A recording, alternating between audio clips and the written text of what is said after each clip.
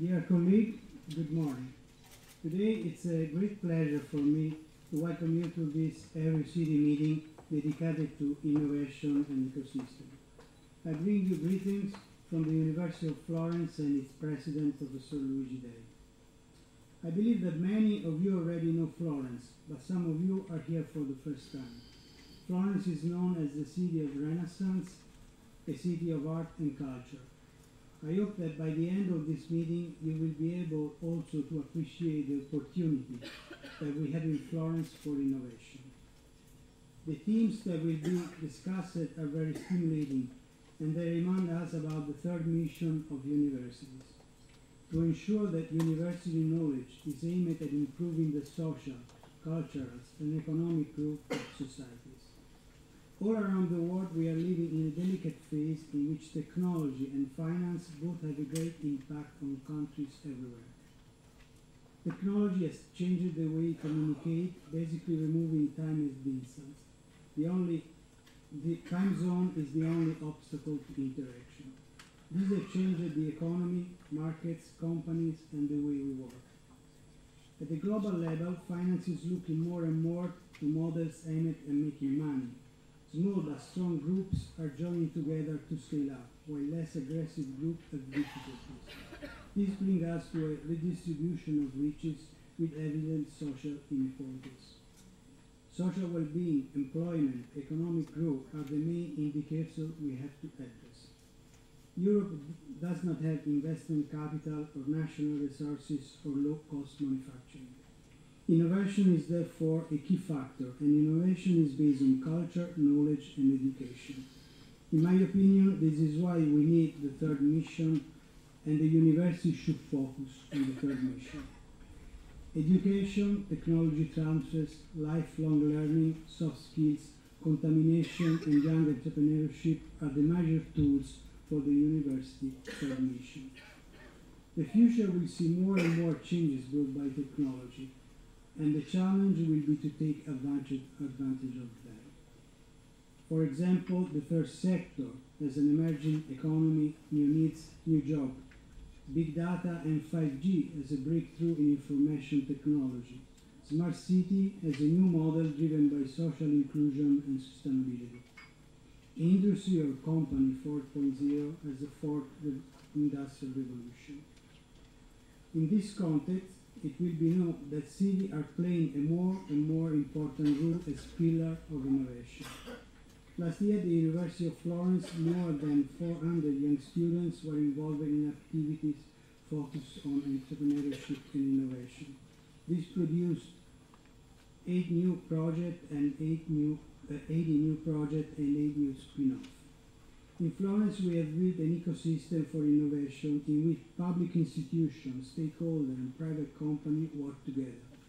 The University Incubator, Murate Idea Park, Nana Bianca, Impact Hub, the Student Hotel, and the Chamber of Commerce are some of the members of this ecosystem where young people can find support for their ideas from basic trainings to acceleration to market to funding to the Hubble project promoted by Florence Bank Foundation. I'm sure that this meeting will be a good occasion for exchanging ideas and planning new interaction and new projects that connect our beautiful city in Europe ecosystem more and more. Best wishes for your meeting and benvenuti e buon lavoro.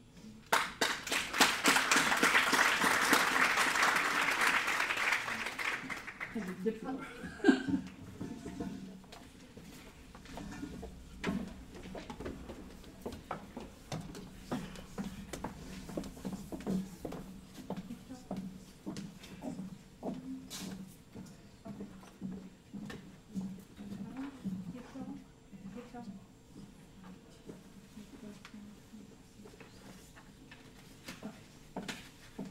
So thank you very much for coming here. I'm Alexandra, together with Pietro and the ones who are sending for you all the emails. We work for the university, so please feel to contact us if you have any questions later. Um, so now today we have quite a busy day, but we were trying to find uh, different ways of cooperation, different ways of work. So please be active. I know the most important question. The Wi-Fi, Wi-Fi is open please the network is work in Florence, you can log in. Well, it's login through your social account. If you have any problems, we will help you on the back. Please try to do it now. Also, a small reminder, we don't have roaming in European Union, so it should be fine at the end of the day. But please try to use it because at the end of the uh, keynote speech and also panel debate, we will use the Slido to ask for you to ask the questions. So during the first day, first we have the keynote speech, later on we have the panel debate, and after all, after after the, this part, we'll invite you for the project lunch, which would be very interesting. We'll have the presentation of the projects with uh, from Florence, from iCapital, and our Eurocities project by Bernadette. We will also have the political lunch, so politicians will be going in the, a bit different direction. But what is also very important, before it, we'll have a family photo. So please be prepared also for a small photo shoot. Later on, we'll go for the City Lab part. I will explain a bit more after the panel debate who is going where and what we will be doing. And then, at, at the uh, summary of the City Lab, after the summary of the City Lab, we'll have the guided visit into the Museum Bardini and then cocktail and the dinner. Okay, so that's all from me. And now I would like to give the floor to our keynote speaker, Esteve Almirall, who will present us what are the innovative cities, how actually the innovation policies should look in the cities. Uh, Steph is a professor in Esade Business School. He is the Master of Innovation, Master of Data, and I saw the presentation and it's really, really interesting. Uh, Steph, the floor is yours.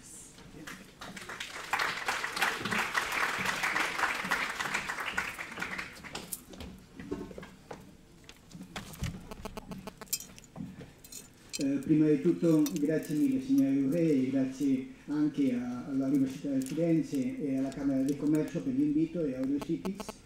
And also uh, thank you so much for Alexander, Bernadette, Pietro, Alex, all these people that helped me so much in preparing this presentation.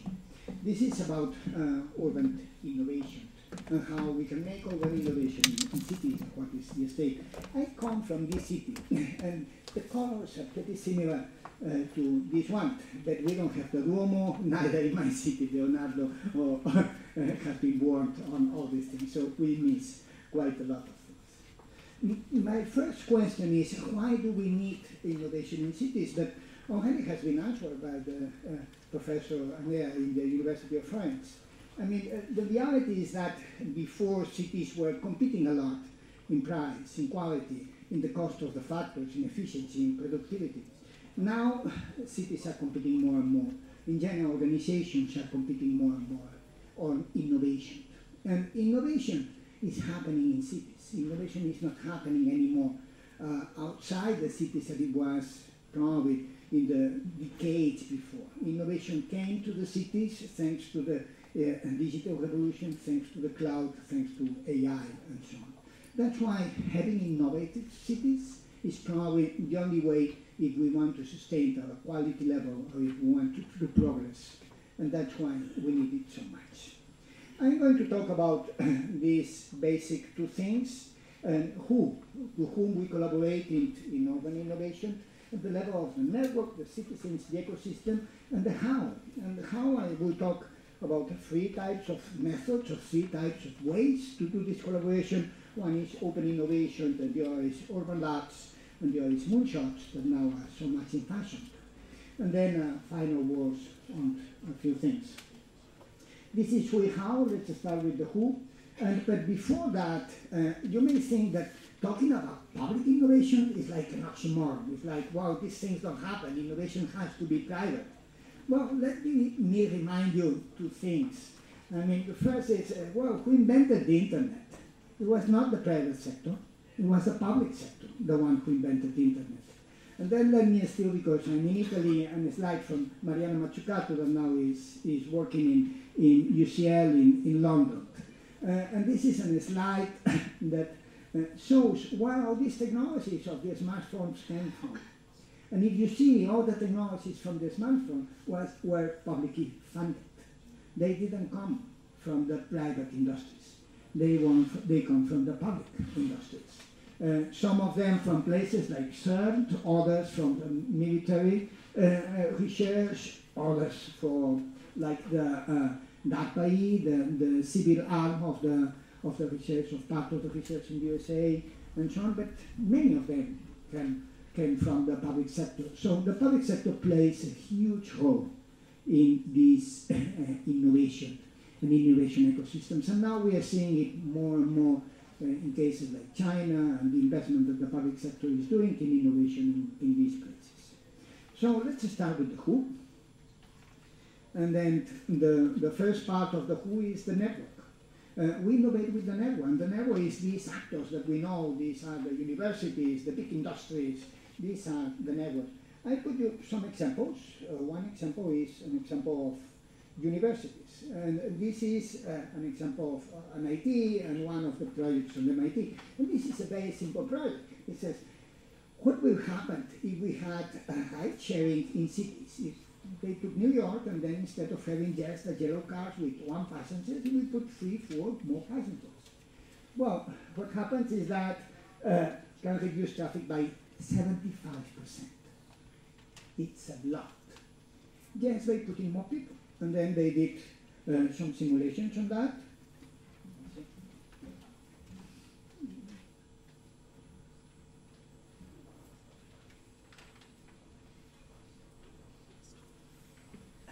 Then they did some simulations, and then you can see the reduction of traffic in Manhattan, and the reduction is really impressive. Just by managing things uh, from uh, a different perspective, in this case, carpooling.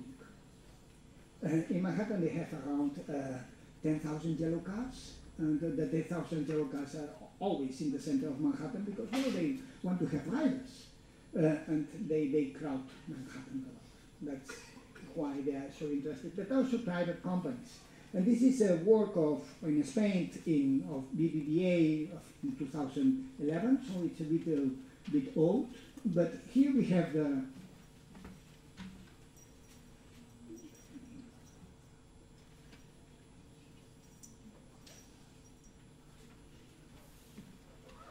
Here we have a map of the financial transactions that people do with credit cards.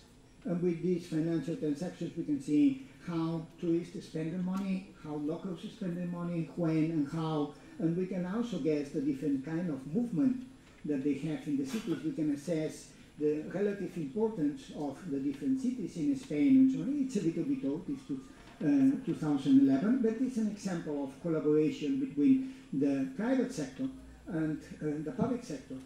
In this case, on getting the data and having the data to act. This is becoming more and more important. Uh, this was a summary of these uh, financial footprints. Innovating with the network is pretty common. Uh, we know the actors. Um, uh, innovating with the citizens is not so common, it's more new, it's more different. And I put some examples of, of how to innovate with the citizens.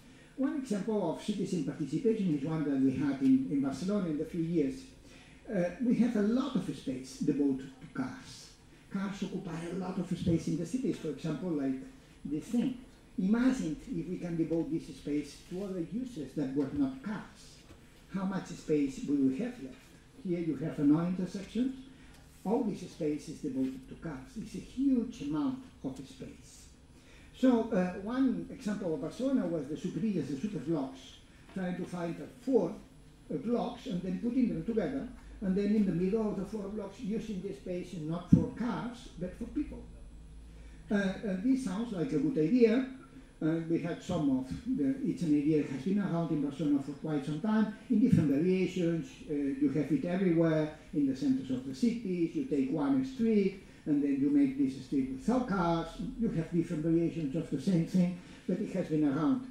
And then one of the problems that you have is, what do you do with this space? Because you get suddenly so much space. So what do you do with that? Well, the solution of Barcelona was ask the citizens. Make the citizens uh, decide what they want to do with this space, how they want to use it, and they want participatory process and we had a lot of tries, a lot of different tries on how to do things with the space, from uh, games for the kids to um, uh, collaborative games to other kind of things. And here you have some of the collaborative process month in Barcelona in order to decide what to do with all these space that is becoming available because we don't have cars anymore in these areas of the city. In some cases, it's more or less obvious because you have a lot of bars and restaurants and so on, but in other cases, it's not so obvious. So this is one example. a, a, a big example or a big case is uh, how can we reinvent citizenship in the 21st century? Uh, this is one important thing. The 21st century is different than the other centuries. We are very much connected and glued to the internet. We are connected to our social networks. Our relationships is not face to face as much as it was uh, 100 years ago. So how can, how can we reinvent that? And how can we reinvent the relationship between the citizens and the city hall or the different local authorities in this century? Uh, and this is one example that I like very much. Uh, this is an example from Boston quite some time ago, but it's a very nice example, and this is hydrant in Boston. Well, Are nice, we're all familiar with hydrants, all the movies, all the American movies and so on. They have a small problem. In Boston, it snows, and then happens things like that. And then once this happens, the problem is which hydrants are working and which hydrants are not working. How do you solve that? You cannot go and check thousands of hydrants in a single day. That's impossible. I mean, nobody has the, the means to do that. So either you have two times or three times more hydrants than you need, just in case some of them don't work and so on, or you find a way to check them. And there is no possible way from a city hall to solve this kind of problem. So the solution of Boston was, why don't we involve the citizens? And they adopt hydrants. And yeah, they make an app and they let citizens to adopt hydrants. And then if you have a hydrant downstairs, you can adopt two. Then you can put a name and you can have several hydrants. Uh, the, the mechanism was very simple. Once this happens, they send you an SMS and they say, how is your hydrant? They say, it's nice, it's well, it's functioning well. no problem. I say, no, doesn't work. So instantly, you know which hydrants are working and which hydrants are not working without using any expenses and just a couple of seconds of citizens that tell you what is working and what is not working. This is the same that we did 100 years ago, but now in digital terms. But it's exactly the same. The whole thing is gamified, so if you don't take care of your hydrants, somebody can steal your hydrant from you. You can have a lot of hydrants and so on and so forth in order to make it more interesting. but uh, that's the idea. Uh, you may think that's a one-shot solution. But, well, in this case, this is Honolulu. In Honolulu, they don't have the problem of snow. It never snows there. And these are no hydrants, these are sirens for tsunamis. Uh, what happens with the sirens for tsunamis? Well, pretty much not the same thing, but a similar problem. I mean, they have batteries and people steal the batteries. And of course, uh, sirens without batteries, they don't work. Solution, let's adopt a siren. so this was the solution for Honolulu, and then in uh, Chicago they adopted sidewalks and so on and so forth. And it was a common solution with a common application that it's open source and you share to change the title. This is a way to change and have different meaning for citizenship in the 21st century. But sometimes it's not citizens, it's not the network, but it's something more loose, it's the ecosystem. Uh, the ecosystem means Eh, innovation hubs, for example, that are very much in function and so on. And this has been one of the successes of Barcelona. It's Pier 1. Pier 1 is in the center of the city, and the success of Pier 1 is that it's privately managed. It's not publicly managed, it's privately managed. They have some public investment, and not so much, but it's privately managed by entrepreneurs from the city of Barcelona. Well, now they are doing the fourth Pier 1. So not the first, not the second, not the third, the fourth Pier 1, that is how successful they did. Also, question, an important question is, can we have innovative cities without innovating citizens? Without uh, making innovation pervasive to the whole ecosystem? And the answer is, I think not, we cannot. We need innovative citizens if we want to make an innovative city, then how? Uh, one of the things is to take the opportunities of technology, and this is the case of our Fab Labs around the city of Barcelona, where they it's not only for labs, they, they also teach uh, programming, STEM, and so on with methodologies, with programs, language like Scratch, and these kind of things. And this is one example of the open doors done for families, and they also print drones, and they can fly. they can be controlled, which is very nice. The drones are controlled with Arduino, and it's a pretty simple thing. They also do robots and so on. I like very much the photo of the small girl imitating the robot. Uh, the whole, the most interesting thing is how they did it. It's not quant, because what, well, you always have that. Well, they did it with very, very, very little money.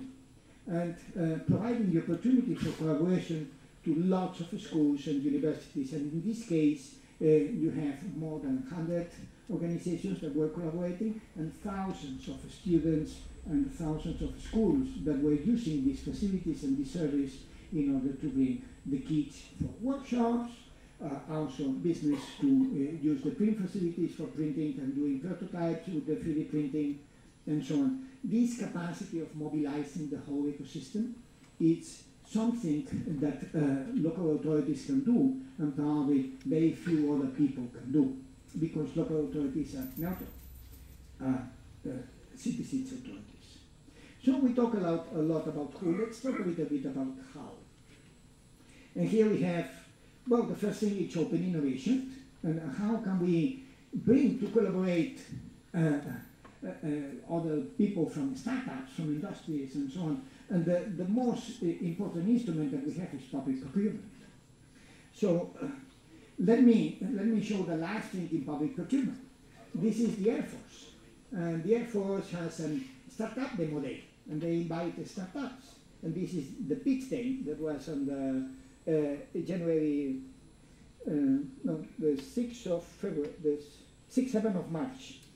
So it was uh, two months ago, I guess, or one month ago. Hmm? Yeah, one month ago, more or less, in New York City. And then the idea is very simple. they post problems, like in any uh, startup competition and so on. You pitch your solutions, and they invite you to come and pitch your solutions and so on. And then once you are there, they give you the money in the instant with a credit card. Up to $160,000, you can live with the money. You pitch, they like the idea, you live with the money. No questions. So this is the Air Force. Uh, so public procurement is important, but we have to redefine public procurement to a level that we can invite the real innovators, innovators like the small startups. Uh, this part of the of uh, the, the public procurement startups and so on is not for the, of course, it's not for the military secrets, but uh, the Air Force has a lot of uh, mm, has a lot of work with logistic material. So, for example, how to prevent, uh, how to do preventing maintenance of wheels in the airplanes and things like that, and so on. And this is the type of problems that they want to solve. These are small startups, and these small startups cannot afford to go through a month a process that, that lasts months and has a lot of paperwork. And they don't, they are not so attractive or not as, as attractive as venture capital is. That's why they invented this, uh, you get the money with a credit card swap, with the, the, Air, the, the Air Force card swap, which is nice. we also have traditional open innovation, collaboration with companies and startups, and this is another example from Boston. Uh, this is the Street Bump project. And then the street bump project is very simple in Boston where it snows and then they have potholes in the street and so on. So the problem is how can we detect the potholes? Well, one way to detect the ones who know for sure where the potholes are are the ones that go to the city with a car because they suffer the potholes uh, as they come to the city through the car. These are the ones that know that for sure. Uh, so they ask the collaboration of the citizens and then they make an application, and in this application that was an iPhone and Android application and so on, they detect the potholes with the gyroscope. So they not only detect the potholes, they can also prioritize which ones people are encountered more often. And then they can repair it, and then they can use this prioritization. The trick here is how do you make the software to detect that? And this was done through a traditional open innovation competition uh, website where somebody used this software, and this software was firstly created for detecting earthquakes. And it was rearranged for detecting potholes, because of course you have to detect the difference between somebody coming into a car and the car encountering a pothole, which is uh, quite some difference. So this is, it's again gamified and so on, and then at the end you have a picture when the pothole gets repaired, you, they send you a picture and they say, thank you so much for helping us to detect and repair the potholes. And this is one of the typical pictures that they send with the process. Sending the picture is very important. Giving feedback is very important. Besides open innovation, we also have labs. Uh, we also try to create innovation hubs or innovation projects in, in, in the cities. And one of these has been challenged. We have been doing that since 10 years in Barcelona. This started in 2008. And the idea was very simple, was why cannot we use the space that we have in cities as a lab, as a test for companies or for people to put products there. We did quite a lot of things, I mean a few hundred of projects, and the idea is, has, is threefold. One side of the idea is to test new things, sure. But there are two more things that are as important as testing new things. The second one is to bridge the distance between startups and city halls. The distance many times is huge. By making these competitions and then putting them in contact and so on, you bridge this distance and you uh, cross the distance uh, and you shorten the distance between these uh, two mentalities. And in a way, you make the city more innovative and startups more aware that social problems do exist too. And social problems is something that is as interesting as other type of problems. But there is also a third part that is to create an initial demand and to create an initial showcase for these companies.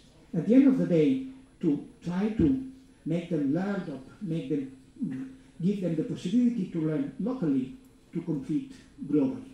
And this we thought is important. This is one of the examples. These are leaf, uh, photovoltaic, smoke heaters and so on that you put in the in the houses. And this is one of the examples, but we have many other examples.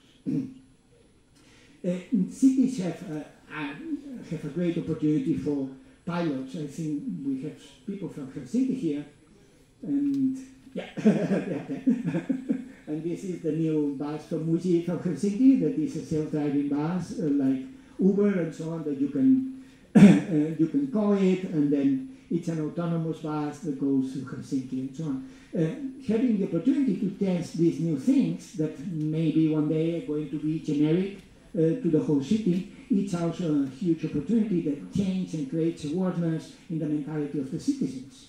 This is the second that they have in Helsinki. The first one was, was with the driver, and this one is without the driver. So that is interesting. and uh, the, the last, the other part is moonshots. Moonshots are very much in fashion. Uh, these big projects. And in moonshots, if you want to highlight one, I think the one in Toronto that Sidewalk Google is doing in Toronto is probably the most interesting and most important one. And this is the new Sidewalk of Toronto and so on. Many new things, for example, distribution is behind this, be, below the street in tunnels with robots, with autonomous robots. These are how they think of the distribution inside this quarter. Houses are made of wood, wood skyscrapers, timber skyscrapers to be more precise. So there are lots of innovative things that these moonshots uh, can bring to cities and inviting these companies also to try it. It's probably an interesting thing. so we talk a lot about urban innovation, but um, maybe the buzzwords now, or the most important thing, for the one of the most important things now is AI. Uh, how can we bring AI inside cities? And uh, one important thing is data. And this is a project that was born in Sweden. This is a CERDEC project that has been adopted in, in many places. And it's a good example of how can we use data. And this is the case of San Francisco, but we have other cases in Europe and so on. Many people die in our streets. Why should people die in our streets in the 21st century? This shouldn't happen. So in the case of San Francisco, it's uh, 13 uh, cyclists that die every year, 200 people seriously injured, and so on. So how can we avoid that, or at least mitigate that? And well, they use data. They have a mm, database with all the injuries. With, they have a huge database in cities that provides them the information. And with this database in cities, after using machine learning and so on, they found something that is very common. 70% of the injuries are in 12% of the intersections. San Francisco is not that big, so 12% of the intersections and not so many intersections. It's not a, a huge city. And then they devise a new way to do the cities, and this is the new way, that it's more or less a copy of what you have in uh, Dutch cities or what you have in North European cities that they use a lot bikes and so on. And protecting the, the corners and, and, doing safe areas and so on, and they're trying to uh, reduce this deaths in cities, only with 12% of the intersections, the intersections that the data shows that where the problem is. Uh, to do that, cities lack the capacity. Cities normally lack the capacity of doing machine learning or artificial intelligence. Very few cities have a big capacity on that. And that's why you have data labs. And here you have a pool of different cases of data labs. The California Data Lab, this, these are mostly from the US, but we also start to have some of them in Europe and so on. And these data labs provide this opportunity of giving or having uh, machine learning and AI capacities that cities can use and everybody can use without having to invest heavily in AI capacities, which probably is very difficult. You may say there is a dark side to all this thing of AI, and it's true. There is a dark side. And here we have some of the elements that we have in the light side. Uh, things like algorithmic transparency. Let's remember this, uh, the issue, the Volkswagen and so on. Uh, uh, monopolies that are based on network effects, uh, like the ones that we are suffering, that are very difficult to, or excessive value capture done by platforms. Most of the cloud platforms use open source software that is paid by all of us. And they, they put it and they monetize everything that we already help to build. And uh, uh, or the big challenge of the uh, gig economy, uh, like Airbnb and so on. We are all aware of this dark side, so we cannot forget that there is a dark side and so on. But if we don't understand AI and we don't understand how can we use AI and cloud in our cities, it would be very difficult to face and combat this dark side. To put a policy for algorithmic transparency or to try to controverse the, the the negative effects of uh, uh feedback loops, algorithm feedback loops, or monopolies due to network effects, and so on. So this is the panorama that I wanted to present you, the who and the how, uh, three methodologies, and something new that is coming, that is uh, open innovation. And the three methodologies that I think are important in terms of um, looking at the network, looking at the actors that are already in place, Looking at the citizens, we cannot think of innovative cities with, without thinking on innovative citizens and looking at how to mobilize the ecosystem. Not only the major players that we know, but everybody, because the city is something of everybody. Also doing that with these three different approaches, the open innovation, the urban labs, and the moonshots. But uh, let me say, let me say one last thing. And uh, this last thing, it, it's about uh, the administration, it's about city halls. We cannot think of innovative cities without thinking of innovative city halls or innovative administrations. This is a must. If, in, if cities have to use data and have to use data wisely, we need also to innovate in city halls. So think about basic things. We need data-driven cities and we need inside city halls this analytical transformation, algorithmic transparency, embrace cloud, uh, become open source and collaborate between all of us because if not we cannot uh, do medium or big things or medium or big apps. Have governments that are API based so they can connect uh, with everybody like modern companies are. And think about new things. I mean, one simple thing. Why taxes have to be static, have to be fixed in a world where nothing is fixed?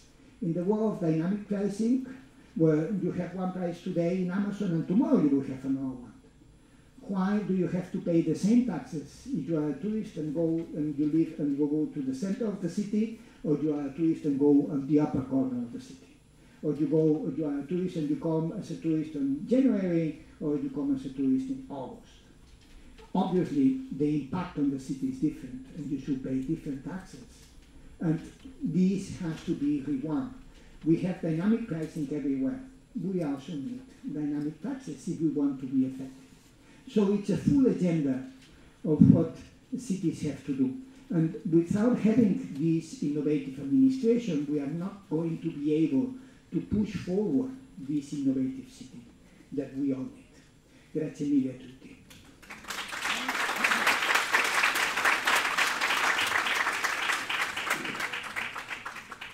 Okay, perfect. Thank you very much.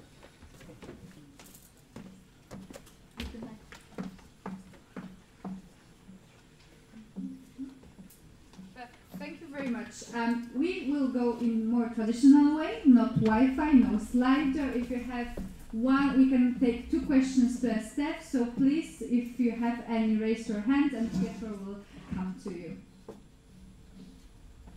Hmm? No? Okay, perfect. Christian.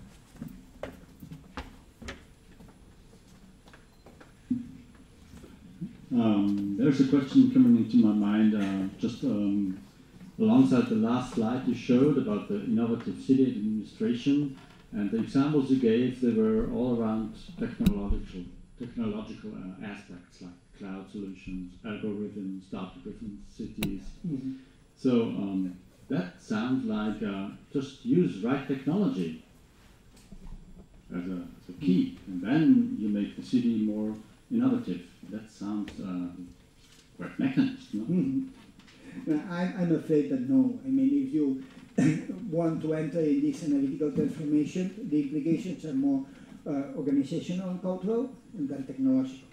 Uh, you will have quite a lot on the technology. It's a trigger. At the end of the day, the technology, any technology, enables a kind of relationship between humans, kind of organization that you have. A change of technology enables new possibilities, and then, but the Uh, sizing these new possibilities and these opportunities is not for the technology, it's for us. It's us how we have to define and challenge. The same thing of uh, as citizenship in the 21st century. Now we have social networks and so on. The ones that we have to reinvent citizenship in this century using all these technologies is not the technology. The technology is not going to do that. It's us who have to do that. And this is the, the basic transformation. I think it's a huge challenge for public institutions to, to reinvent themselves and use wisely all these new opportunities in a creative new ways to change the organization inside and the cities outside. One more question from Sylvia. Oh, thank you. Thank you. Thank you very much for your presentation. Um, it's a question and a comment, and is really following up from this discussion. Um, at the end of your presentation, you raised this issue of we need to use the technology. And I think that the technology somehow is there and is easy to, uh, to get it. The main issue for the city is to become responsive. There's a lot of discussions about smart cities. Smart cities is not just about technology, it's about being responsive to the needs and the challenges of the local population, business, investors, whatever.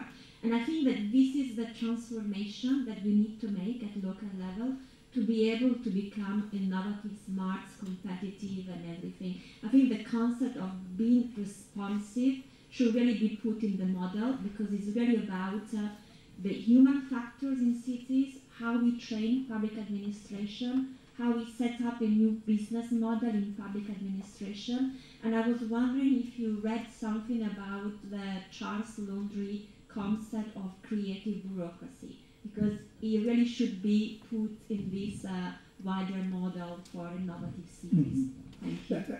No, I completely agree that the need of uh, being responsive and so on. I would like to add two things only. I mean, public administrations are not only responsive to the demands of the citizens, they create a new society. They are the motor of this new society. And uh, we have to let them also to be this motor of new society and create the new society that we all want, not only respond to, to these needs of the, of the citizens. And this is as important as, as, as, as being responsive. Uh, the second part is that technology is available up to a point. I don't know, for example, if you want uh, digital sovereignty in Europe, uh, you want to have a cloud platform because you need a cloud platform, and you don't want a cloud platform that is uh, connected to the private cloud in Europe and so on, but you want another platform that you have a, control, a complete control in Europe and so on. We don't have that. Americans have that. There is an Amazon.gov that is completely separated and controlled by the American administration. Chinese have that. Europeans don't have that. So uh, we need also some action in terms of technology, in terms of policies, and in terms of digital sovereignty if we want to ensure that our privacy and the rights of our citizens is not that things are there, available, and so on. We have to, to fight for them. I with you, of course. Any more questions? Or comments? Or whatever.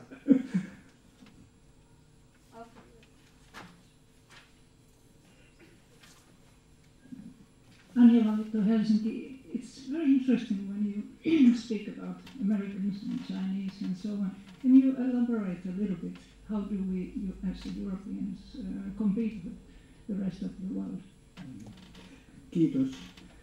Uh, well, it's really complicated, I think, for Europeans to compete. I think the, the easiest way to say it is that in, in AI, uh, we lost this competition, we don't compete. it's a competition among two, two wars. One is the American war, and the other is the, the Chinese war. In AI, the investment in, in China is 150 billion euros for the next 10 years, more or less. We don't have, some countries, like Germany and so on, have an AI strategy. Uh, uh, Europe doesn't have an AI strategy. So uh, we don't compete in terms of the public sector. The situation is even worse because we don't have a cloud. Um, if you want to put a government cloud that is on the hands of the European citizens, we don't have that. And this is basic. If you want to keep the data of European citizens in the hands of European citizens, and so on and so forth. So it, it, we really need a European strategy in, on all these areas. And the European strategy has to be global, Europe-wide. We don't have the, uh, no country has the capacity to put their own strategy and strategy on their own. And this is true for that, but it's also true in terms of algorithmic transparency, that companies are relying in algorithms more and more and more and more, and we don't have a clue of which algorithms are. Uh, these algorithms can be discriminatory, these algorithms can be many things, and well, uh, authorities uh, need to know that, uh, have to be able to inspect that. And uh, right now, we don't. We are completely blind in, in these things. So there is a huge space of new laws, new regulations, but also of implementing technology in Europe if we want to put the basis for uh, technological sovereignty in Europe, or at least respond to the demand of sovereignty for our citizens. Unfortunately, is that. So thank you very much, Esteve. Ah, last one. Okay, another question. Uh, thank you so much for your presentation. It was wonderful. Uh, you said a very interesting thing, uh, the involvement of citizens, which is very, very important. And you showed us some uh, micro examples, the bump one, uh, the hydrants, and so forth. Um, the question is, are you aware of some ongoing mechanism by means of which some city engage constantly citizens? Because this is the point. I mean, right now you can engage them on some specific things that can be interested in them, uh, like the bumps, or, but uh, the, the, the true secret is to try to also hear from us most of the time uh, cities have to follow the digital agenda, the national agenda, whatever agenda, not the citizen agenda. so are you aware of some example? And if not, uh, what would you consider the best mechanism to engage in a constant way, ongoingly, Thank you. Thank you so much uh, for the question. I- It's, it's a subject that we don't know much. I mean, all companies now, uh, because of the data revolution, compete with the attention of the citizens. Uh, having a piece of this attention, it's complicated. And then it's easy to engage the citizens when the, the subject matters a lot. Uh, a case of a very specific problem that really matters to a certain type of community. But this is rare. Many of the things that happen in cities, mm, they don't matter so much to the majority of the population if the city is moderately well run. If the city is a complete disaster, maybe, but if more or less well run, the level of interest that you can raise from citizens from specific areas is not that important. People are very busy with their own lives. So we have a lot of projects, a lot of tries. Decidim is the last one in Barcelona and so on to engage the citizens. Lots of problems always with these projects. Uh, uh, group thinking dominated by small, very active groups uh, and so on that makes them uh, sometimes not representative of what they think. Uh, this plugs many of, of these projects. Um, private companies have been quite successful in capturing this attention. In case of Facebook and so on, public companies don't. It's still something that we, we lack uh, how to do it well. We have some tries, and uh, sentiment analysis is something that many cities use in order to capture the, what is the. But sentiment analysis it's very limited. It's only to the people who express the sentiment, and these are normally people that are more on the extremes, and you don't capture the, the ones in the middle. So it's also a complicated way uh, to, in, to, to engage this perception. Uh, this is one of the areas of uh, uh, uh, reinventing citizenship in the 21st century. It's one of the areas that we have to work more. Uh, my answer is that we don't know that much. Uh, we know very few tries, and we know all the problems associated with all these very few tries, but not a perfect solution uh, for this problem, unless it's a problem that really worries a lot uh, community, and then on which you can pivot uh, much of the attention of, of some people and so on. It's a continuous way. It's, it seems to be complicated. We have last question, and Christian, please be short, and Esther, please be short. Okay, uh, very short. Uh, so just two remarks. The first one, I would tend to disagree on the uh, on the idea that the EU doesn't have a strategy about AI, and uh, first of all, because we we are coming from from a period in which we are redesigning the 2021-2027 framework program, and, and it, it seems to me that uh, you know we are giving some directionality to innovation. And you know all the work that Mariana Mazzucato is doing and uh, Pascal Lamy. So I think that uh, we have we do have a competitive advantage against these two walls that you call it. So it's, it's nice. Uh, it's the fact that we can uh, design products and programs that are based on uh, social, environmental, sustainability goals. And, and so I think that that's the other element is that as opposed to the US and China, we are we are working a lot on human rights in AI. And in fact, we have uh, there is there is a terrific work that the high level expert group has, has carried out on on uh, human rights, human ethics in AI. So I think that's uh, something that on which Europe and cities especially because they are the ones that uh, can really deliver some uh, of the services that uh, uh, give access to the exercise of human rights through, through AI as well. So, I, what's your take on that? Would be, be nice to hear. Grazie mille. No, I, I agree with, with you that there is a lot of thinking in Europe, particularly on the ethical side. Um, it's mostly European. And I completely agree that there is a lot of thinking on this area in Europe and so on. Many times when you talk about there is a strategy or not, you reduce things to numbers. And then you say, well, it's a Chinese strategy. Well, 150 billion 10 years. That's a strategy. And then when you talk about the US, there is a strategy. Well, you have the six big company, the Google, the Facebook, and so on, and all AI products that we use more or less come from these big six company.